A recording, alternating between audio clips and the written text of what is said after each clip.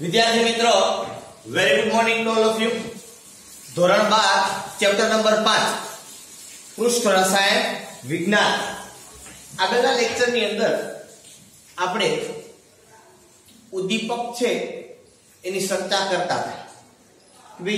જે ઉદ્દીપકો છે એની અંદર આપણે અમુક એની ખાસિયતો છે, એની ચેક કરી એની સક્રિયતા. બરોબર? ત્યાર પછી તો કે બે એની વર્ણાત્મકતા જીઓલાઇટ વડે આકાર વર્ણાત્મક ઉદ્દીપન. આ બાબતની આપણે ચર્ચા છે એ કરીએ બરાબર? હવે આપણે એ વાત કરવી છે કે ભાઈ ઉદ્દીપક છે એનું કામ, એવું જ કામ એક બીજા પદાર્થનું છે, જેને ઉત્સેચક કહેવાય. શું કહેવાય એને? ઉત્સેચક. અત્યારે આપણે જેની ચર્ચા કરવાની છે એ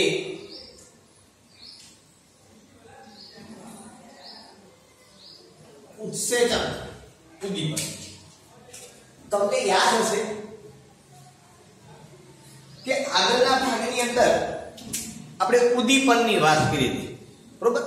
પણ એ ઉદ્દીપનનો મતલબ એક જ છે. પણ ઓલું ઉદ્દીપક વડે ઉદ્દીપન હતું, આ ઉત્સેચક વડે ઉદ્દીપન તમને એમ થાય સાહેબ તમે શું કહેવા માંગો કે સમજાતો નથી. આવી આપણે લાઈન ઉપર. આની આગળના ભાગમાં જે આપણે ઉદ્દીપનનો અભ્યાસ કર્યો, એ ઉદ્દીપન કોના વડે થતું હતું? તો કે ઉદ્દીપક વડે. કોના વડે? ઉદ્દીપક. એના વડે ઉદ્દીપન થતું બરોબર? અહીંયા હવે મારે જે ઉદ્દીપન કરવું છે, એ કોના વડે કરવાનું છે? તો કે ઉત્સેચક વડે. ઉદ્દીપન એટલે શું તમને ખબર પડી? બરોબર? હજી છતાં નહીં પડી હોય, નહીં યાદ હોય કદાચ. તો આપણે ચર્ચા હમણાં કરશું ઉદ્દીપન શું છે? ઉત્સેચકો શું છે એની પહેલા આપણે સમજવું ઉત્સેચકો એટલે શું તો ઉત્સેચકો છે ને એ પ્રોટીનના બનેલા હોય શેના બનેલા હોય પ્રોટીન પ્રોટીન આપણા શરીરની અંદર બરોબર બીજી વસ્તુ કે પ્રોટીન એમ એમાં કયા કયા ભાગ હોય તો કે એ નાઇટ્રોજન યુક્ત કાર્બનિક સંયોજનો છે શું છે નાઇટ્રોજન યુક્ત કાર્બનિક સંયોજનો છે હવે ઉત્સેચકો છે એ શું કરે તો કે એ પ્રક્રિયા છે ને, એને ઉદ્દીપિત કરે. શું કરે એને? ઉદ્દીપિત કરે. હવે આ ઉત્સેચકો ક્યાં મળે? તો કે આ ઉત્સેચકો છે ને, એ સજીવમાં. સજીવ એટલે કે તો કે વનસ્પતિ અને પ્રાણીઓ દ્વારા આ બનાવવામાં આવે. આ ક્યાંથી બને ઉત્સેચકો? ક્યાંથી બને? તો કે આ ઉત્સેચકો સજીવમાંથી બને. શેમાંથી બને? સજીવમાંથી. વનસ્પતિ અને પ્રાણીઓ દ્વારા આ બને. ઉદ્દીપકો હતા. એ કોઈ ધાતુ પદાર્થ હતા મતલબ એ નિર્જીવ હતું. સજીવ નહોતા. ઉત્સેચકો છે કેવા છે? સજીવ છે. તો મોટા ભાગે સજીવોમાં થતી જે રાસાયણિક પ્રક્રિયા છે, મોટા ભાગે સજીવોમાં થતી જે રાસાયણિક પ્રક્રિયા છે, એ રાસાયણિક પ્રક્રિયાને ઉદ્દીપિત કરે. શું કરે? એ પ્રક્રિયાને ઉદ્દીપિત કરે. કોણ કરે? ઉત્સેચક. એટલે આને જૈવ રાસાયણિક ઉદ્દીપકો કહેવાય. અથવા તો ઉત્સેચકો કહેવાય. ખાસ તમે ઉદ્દીપક જ છે. કામ એનું ઉદ્દીપક જેવું જ છે. શું? તો કે રાસાયણિક પ્રક્રિયાનો વેગ વધારવાનો. પણ આ રાસાયણિક પ્રક્રિયાનો ન વધારે. શું તો કે આ સજીવો છે. કઈ પ્રક્રિયામાં કામ કરે? તો કે સજીવો દ્વારા થતી પ્રક્રિયા. માનવ દ્વારા થતી પ્રક્રિયા. એ પછી વનસ્પતિમાં થતી હોય કે પ્રાણીમાં થતી હોય. બરોબર છે? તો સજીવની અંદર થતી જે રાસાયણિક પ્રક્રિયા એને જૈવ રાસાયણિક પ્રક્રિયા કહીએ. કઈ પ્રક્રિયા કહીએ આપણે? જૈવ રાસાયણિક આપણા શરીરની અંદર પ્રક્રિયા થાય. વનસ્પતિની અંદર પ્રક્રિયા થાય છે. અને એ પ્રક્રિયાને ઝડપી બનાવવા માટે આ ઉત્સેચકો છે એનો ઉપયોગ કરવામાં આવે છે. બરાબર છે? એટલે આને જૈવ રાસાયણિક ઉદ્દીપકો કહેવાય, અથવા તો આને જૈવ રાસાયણિક ઉદ્દીપન કહેવાય. શું કહેવાય એને? જૈવ રાસાયણિક ઉદ્દીપન કહેવાય. સમજમાં આવી આખી બાબત? ઓલા જે ઉદ્દીપકો હતા, એ રાસાયણિક પ્રક્રિયામાં વપરાતા હતા, અથવા તો જો તમે કહો, તો એ નિર્જીવ પ્રક્રિયા માટે કામ કરતા હતા. એ સજીવ નહોતું. તો નાઇટ્રોજન હેબર વિધિ લ્યો, સંપર્ક વિધિ લ્યો ઓસ્વાલ્ડ વિધિ લ્યો, કે કોઈ પણ તમે બીજી વિધિ લ્યો, જેની અંદર આ ઉદ્દીપકો વપરાય છે. તો એ બધી નિર્જીવ હતી. અને અથવા તો એની અંદર જે ઉદ્દીપક હતો તમારો, એ ઘન પદાર્થ હતો. કોઈ ધાતુ પદાર્થ જનરલી હતા. અથવા તો કોઈ ધાતુનું સંયોજન હોય. એ પછી ઓક્સાઇડ વાળું હોય, કે કોઈ હાઇડ્રાઇડ વાળું હોય, કે કોઈ પણ. બરોબર? અહીંયા ઉત્સેચકો છે. એ ઉત્સેચકો એ વનસ્પતિ અને પ્રાણીઓ દ્વારા પેદા થાય. એમાંથી બને. વનસ્પતિ અને પ્રાણીમાંથી બને. અને વનસ્પતિ અને પ્રાણીની અંદર જ પાછા એ પ્રક્રિયા. બરોબર? સૌથી મોટી બાબત આની એ છે કે વનસ્પતિ અને પ્રાણીઓમાંથી બને, એના દ્વારા બને. અને એ વનસ્પતિ અને પ્રાણીની અંદર જે રાસાયણિક પ્રક્રિયા થાય છે, એ જ રાસાયણિક પ્રક્રિયાનો વેગ વધારે. બરોબર? અને ખાસ કે આ ઉત્સેચકો છે, આ ઉત્સેચકનું જો પાણીમાં તમે દ્રાવણ બનાવ્યું હોય, તો એ કલીલમય દ્રાવણ બને. કેવું દ્રાવણ બને? કલીલમય. આપણે એમને સાહેબ આ કલીલમય તમે કીધું નાખ્યો તો કલીલ આની પહેલા તમે શબ્દ વાપરો તો કલીલ શું છે? હું તમને અત્યારે સિમ્પલ એક્ઝામ્પલ આપું પાણી વત્તા ડેટો. આ તમે જે મિશ્રણ નાખો, પાણીમાં તમે ડેટો નાખો તમે ટીવીમાં જોવો છો ધૂંધળું ધૂંધળું તમને દેખાય. બરાબર? તો એવું જે તમને દેખાય આને કલીલમય દ્રાવણ કહેવાય. કેવું દ્રાવણ કહેવાય આને? કલીલમય દ્રાવણ કહેવાય.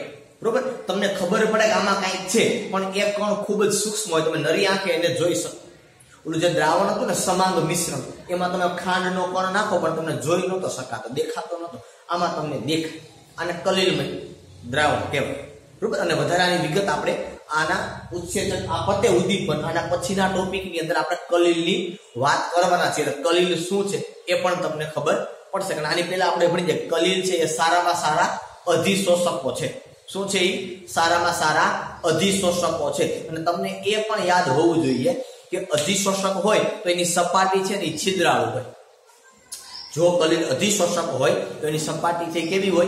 છિદ્રાળુ હોય. આપણે અધિશોષકના ઉદાહરણ ભણી ગયા. માટી, એલ્યુમિના જેલ, સિલિકા જેલ કલિલ આ બધા પદાર્થો છે એ શું છે? તો કે આ બધા પદાર્થો ચારકોલ, આ બધા પદાર્થો સારામાં સારા અધિશોષકો છે. ઓકે, ચાલો. આ ઉત્સેચકની વાત થઈ. બરોબર છે? હવે ઉત્સેચકો છે ને, એ જીવિત કોષોમાંથી બનાવી શકાય આપણા શરીરની અંદર કોષ હોય ને બાયોલોજી વધારે આની અંદર આઈડિયા હોય.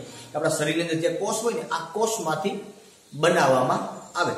ઓગણીસો ને ઓગણસિત્તેરની અંદર સૌ પ્રથમ એ સજીવ કોષમાંથી આ ઉત્સેચક છે ને બનાવવામાં આવ્યું. ઓગણીસો ને હોય તો ખરી પેલા હતા જ ખરી. એવું નતું ઓગણીસો ઓગણસિત્તેર પેલા ઉત્સેચકો નહોતા, હતા જ શરીરનો પણ ત્યારે એની ખબર નહોતી. ઓગણીસો ઓગણસિત્તેરની અંદર પ્રથમ વખત આનું સંશ્લેષણ થયું શરીરમાંથી અને પેદા થયા એવું ખબર પડી. ત્યારે ઓગણીસો ને ઓગણસિત્તેરમાં. સૌ ઓકે વાત કરીએ આપણે થોડીક એવી માહિતી લખી આવી બાકી આપણે આગળ ઉપર જે કામ કરવાનું છે, એના ઉપર ધ્યાન ઉત્સેચકો શું છે? તો મેં તમને કીધું કે ઉત્સેચકો નાઇટ્રોજન યુક્ત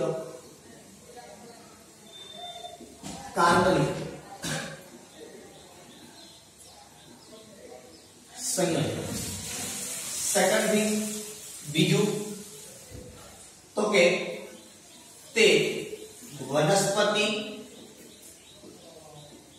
અને પ્રાણીઓમાંથી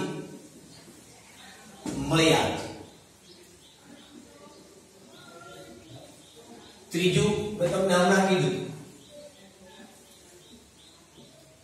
તે પાણીમાં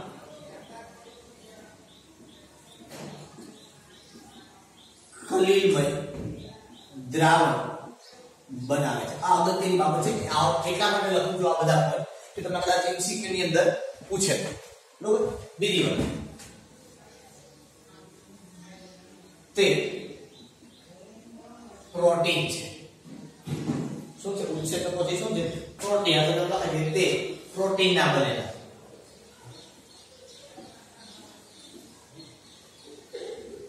અને મારે તમને પ્રોટીન વિશે વધારે માહિતી આપવાની જરૂરિયાત નથી. બાજુ વાળાને ખબર છે. મેથ્સ વાળાને ખબર નથી તો કઈ વધારે જાણવાની આપણે કોઈ જરૂરિયાત નથી. કે ભાઈ, આપણે શરીર છે એ પ્રોટીન ત્વચા ને બધું છે એ પ્રોટીનનું બનેલું છે. બરોબર? ચાલો, આપણે આની ચર્ચા આગળ ઉપર એક ચેપ્ટર કદાચ ભણી ગયા છો તો ભણવાના છો, એની અંદર આપણે કરશું. બરોબર?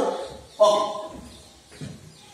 બીજી વાત આપણે હમણાં કીધી કે વનસ્પતિ પ્રાણીમાંથી મળે પાણીમાં કલીલમય દ્રાવણ બને, પ્રોટીનના બનેલા છે સેકન્ડથી કે એ વનસ્પતિ અને પ્રાણીઓમાં થતી ઉદ્દીપકીય પ્રક્રિયાઓ છે એને ઉદ્દીપિત કરે.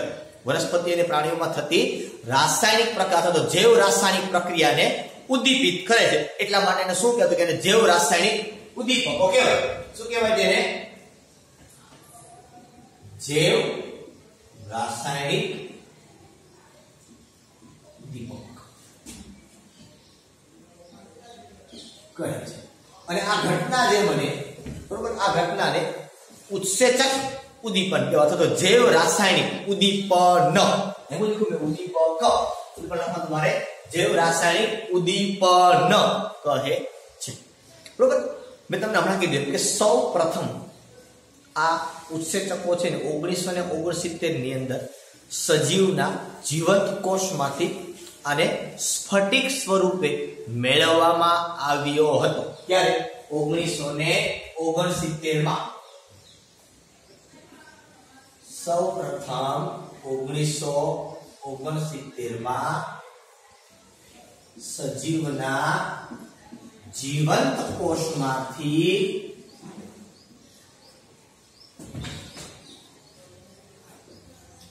સ્ફટિક સ્વરૂપે મેળવવામાં આવ્યો હતો. કોને? ઉત્સેચકની વાત આપણે કરીએ છીએ. ઘણી બધી પ્રક્રિયાઓ છે કે જે પ્રક્રિયાઓ ઉત્સેચક વડે ઉદ્દીપિત થાય છે. આપણે ઘણી બધી પ્રક્રિયાઓને જોયેલી છે. એ પ્રક્રિયાઓ છે, એનો આપણે અભ્યાસ કરી તો તમને ખબર પડે કે કઈ કઈ એવી પ્રક્રિયાઓ છે કે જેનો આપણે અભ્યાસ કરેલો છે. બરોબર? જોઈએ નંબર વન, પેલી પ્રક્રિયા ની વાત કરું સીધું નામ નહીં લખું, પ્રક્રિયા લખીશ એટલે તમને ખબર પડશે. બરોબર? C12 H22 O11 plus H2 આ ખાંડ છે અહીંયા ઉત્સેચક જે આવે એ ઇન્વર્ટેજ આવે એટલે અહીંથી મળે C6 H12 O6 plus C6 H12 O6 આને બોલે ગ્લુકોઝ તો આને બોલાય ફ્રુક્ટોઝ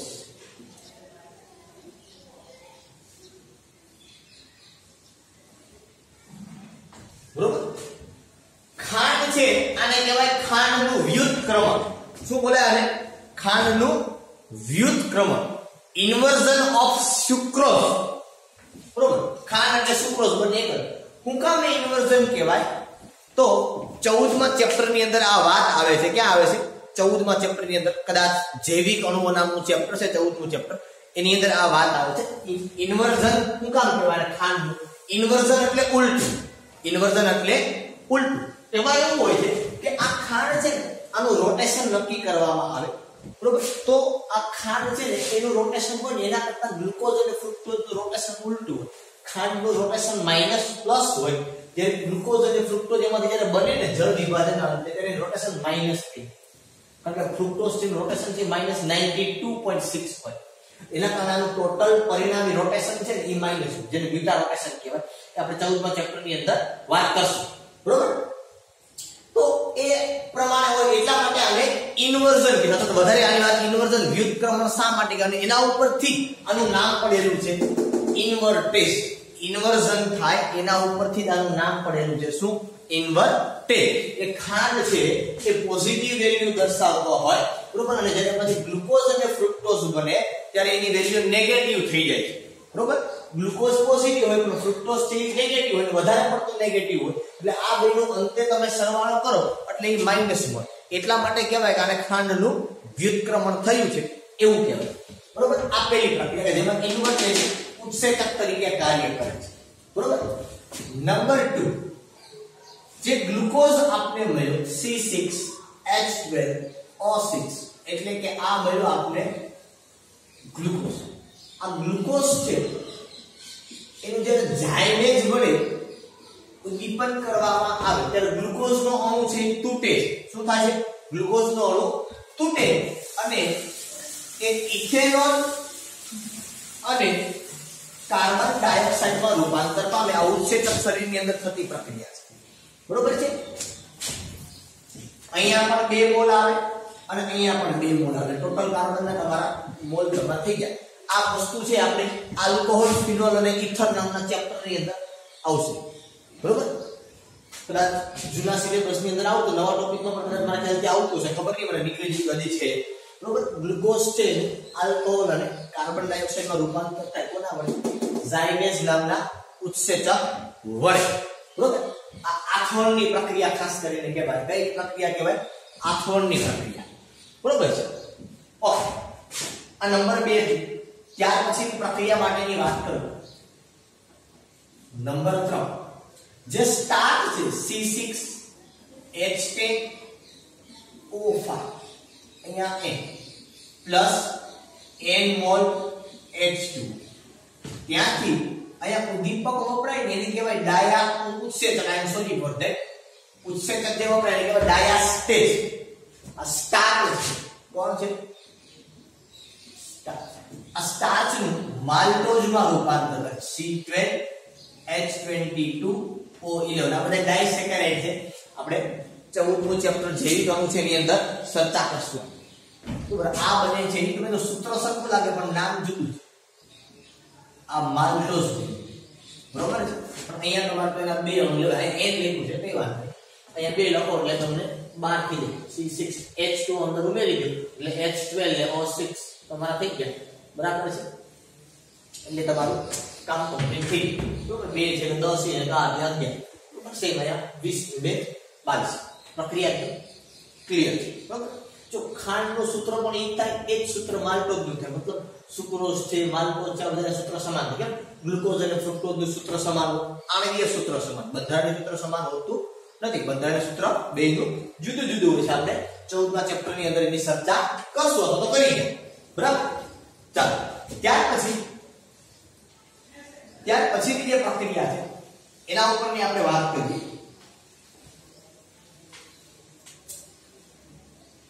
નંબર 4 આ જે માલ્ટોઝ છે C12 H22 O11 plus H2 આ કોણ છે માલ્ટોઝ આ માલ્ટોઝ છે એનું માલ્ટેજ વડે, એ જળ વિભાજનની પ્રક્રિયા આ પણ જળ વિભાજન છે. બરોબર? માલતેજ વડે જળ વિભાજન કરો, તો તમને 2 મોલ ગ્લુકોઝ મળે. શું મળે? ગ્લુકોઝ. એટલે આવું સૂત્ર પાછું ગેલેક્ટોઝનું હોય.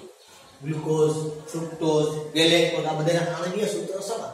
આ બધાના બંધારણીય સૂત્ર જુદા જુદા. માલ્ટોઝ તેનું માલ્ટેઝ વડે ગ્લુકોઝ પણ બરોબર? એવી જ રીતે જો ત્યાર પછીની પ્રક્રિયાની વાત કરું, બરાબર? તો યુરિયા છે NH2 C11O NH આનું જળ વિભાજન કરવામાં આવે. યુરેસ નામના ઉત્સેચક કોના વડે? યુરેસ નામના ઉત્સેચક વડે. આ જળ વિભાજન થોડુંક વિશિષ્ટ થાય. વિશિષ્ટ એટલે કેવું? તો કે અહીંયા બે જગ્યા ઉપર હાઇડ્રોજન આવે ને આ જગ્યા ઉપર ઓક્સિજન આવે. આ પ્રમાણેનું જળ વિભાજન થાય. એટલે એમાંથી આપને મળે બે મોલ એમોનિયા અને એક મોલ કાર્બન ડાયોક્સાઇડ. યુરિયાનું આ સૂત્ર છે. બરોબર છે? નાખ બોલું તો ધ્યાનમાં લઈ લીધું યુરિયાનું જળ વિભાજન યુરેઝ વડે થાય. એમોનિયા અને કાર્બન ડાયોક્સાઇડ આપણે આપે. ત્યાર પછીની જો વાત કરીએ આપણે, તો જે પ્રોટીન છે, એ પ્રોટીનનું જ્યારે જળ વિભાજન કરવામાં આવે, એ જળ વિભાજન પેપ્સિન નામના ઉત્સેચક વડે થાય, એટલે આમાંથી એમિનો એસિડ આ હકીકત છે. પ્રોટીન છે. એનું તમે જળ વિભાજન કરો, એટલે શું મળે એમાંથી એમિનો એસિડ. બાયોલોજી વાળાને ખબર હોય આ બાબતની. પણ હકીકત શું છે ખબર છે?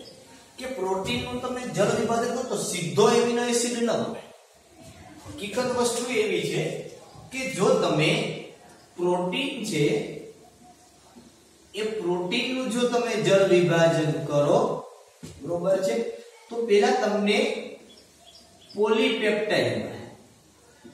આ પોલીપેપ્ટાઇડ જે છે, એનું જો તમે જળ વિભાજન કરો, બરોબર, તો તમને એમિનો એસિડ મળે.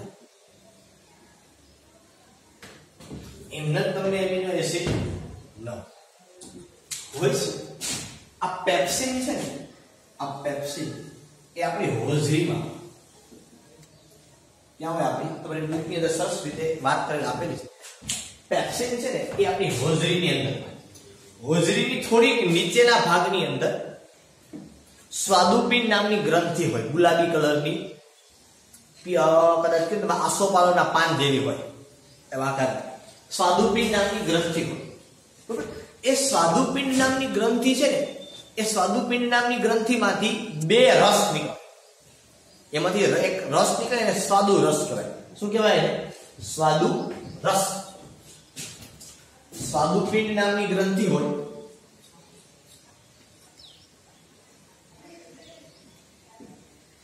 આ સ્વાદુપિંડ નામની ગ્રંથિમાંથી જે રસ નીકળે ને, એને સ્વાદુ રસ કહેવાય. શું કહેવાય? સ્વાદુ રસ. આ સ્વાદુ રસ છે ને, એમાંથી બે પદાર્થો છે ને, એ બહાર નીકળે. તો એક ભાગ છે એ પેપ્સિન હોય બરોબર? અને એક ભાગ જે બીજો નીકળે એ પેન્ક્રિક જેને કહેવામાં આવે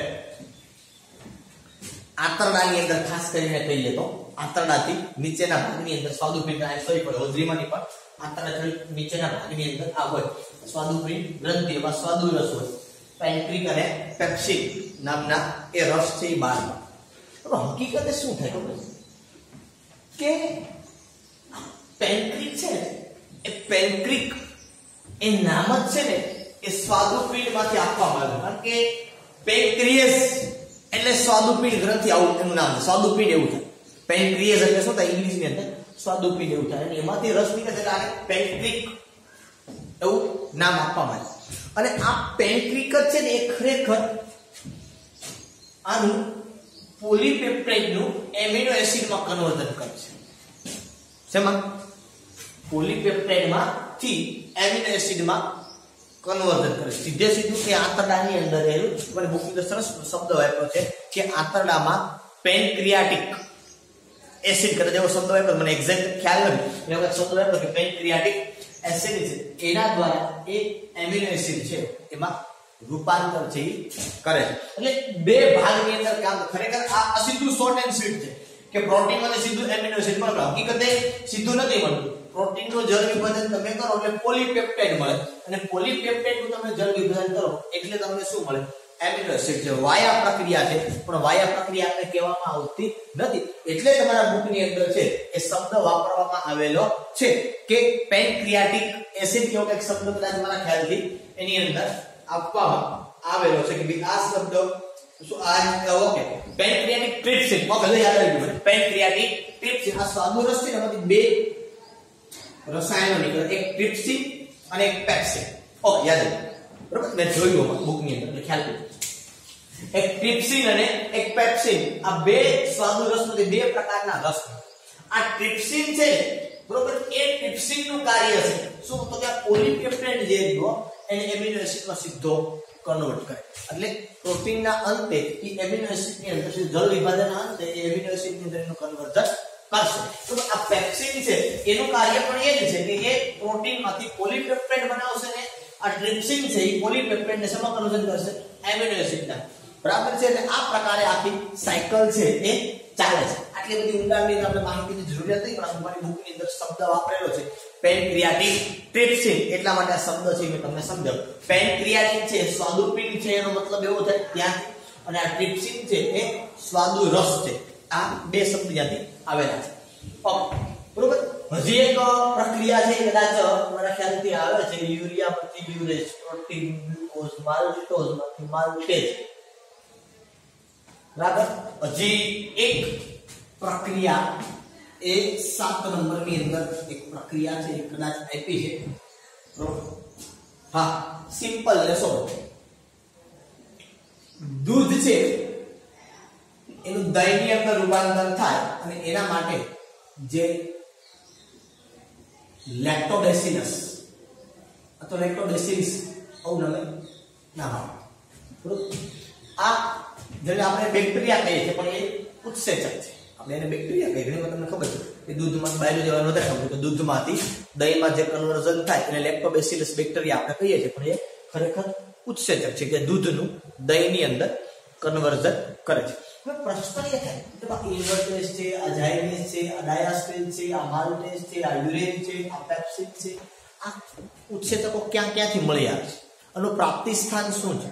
આ ઉત્સેચકોનું પ્રાપ્તિ સ્થાન શું છે? બસ એટલા માટે તો મેં તમને અહીંયા આ જગ્યાથી રાખીને આપેલી છે એની અંદર આપણે આ તો અહીંયા આપણે એ ભાગ છે એ લખી. તમારી ટેક્સ્ટની અંદર પાછળના ભાગે તમે જોશો ને, તો તમને સરસ રીતે આખી ઉત્સેચક ને એનો સ્ત્રોત ને પ્રક્રિયાથી તમને આપેલા છે. જોઈએ આપણે. અહીંયા સમય. તો અહીંયા લખી રાખી ઉત્સેચક સ્ત્રોત અને અહીંયા લખી ઉત્સેચકીય પ્રક્રિયા. કઈ પ્રક્રિયા આપણે શેનું કામ પહેલો જ મને ઉત્સેચક લ્યો. એ પહેલો જ પ્રક્રિયા છે તમારો કયો છે? પહેલો જ પ્રક્રિયા છે તમારો ઇન્વર્ટેજ આ તમને ક્યાંથી મળે?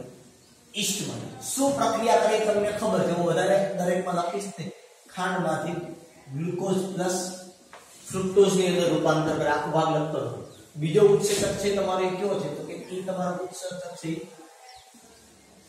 જાયનેજ જાયનેજ પણ ક્યાંથી મળે? ઈસ્ટમાંથી. એ શું કરે?